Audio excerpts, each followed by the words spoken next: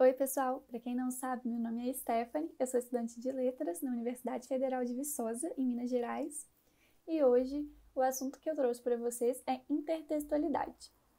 Intertextualidade pode ser definida como uma relação entre os textos, é quando um texto influencia o outro. Além disso, a intertextualidade pode ocorrer de maneira explícita ou implícita. Quando ocorre de maneira explícita, tem-se a indicação da fonte, do texto base, como nas referências e citações de textos técnicos, informativos, científicos, é, ou até mesmo numa conversa face a face em que você é, repete a fala do parceiro na conversação. É, um exemplo, se eu falo, é, hoje vai chover, e alguém fala, hoje vai chover? Então vamos deixar para sair amanhã essa repetição também é uma intertextualidade explícita.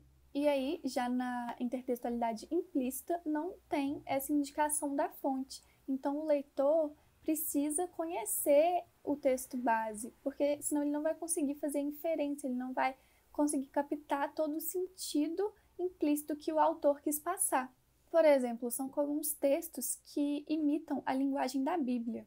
E aí, o leitor desse texto que não conhecer a Bíblia, não vai conseguir captar todo o sentido que o autor quis passar. Ele vai perder algumas coisas ali.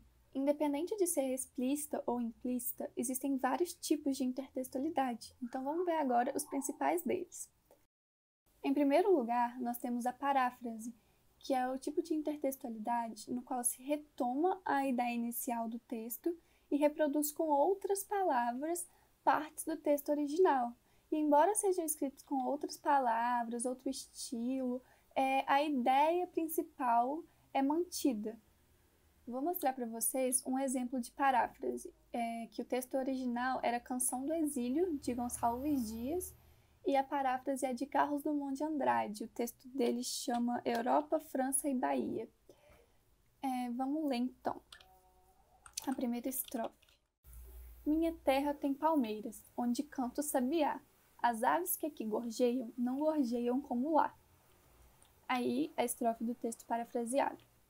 Meus olhos brasileiros se fecham saudosos, minha boca procura a canção do exílio. Como era mesmo a canção do exílio?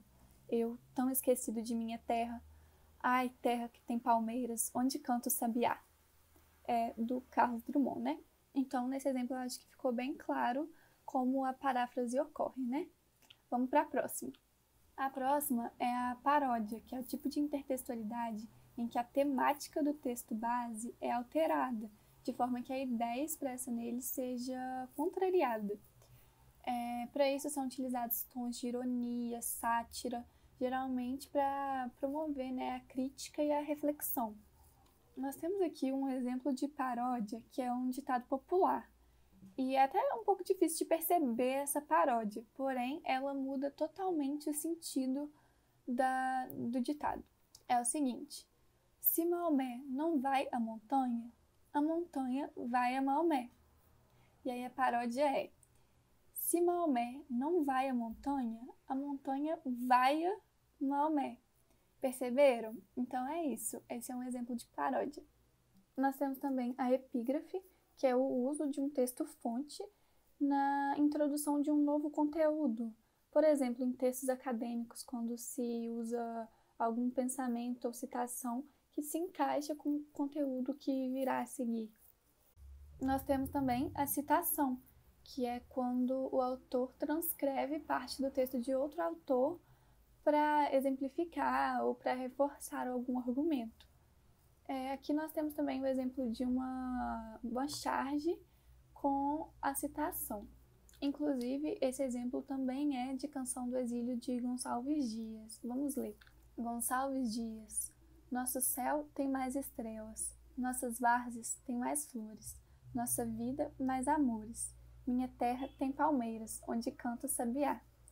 O sabiá sou eu, essa era a palmeira. No caso, essa charge usou a citação para criticar o desmatamento, né? E por hoje é isso, pessoal. Até a próxima!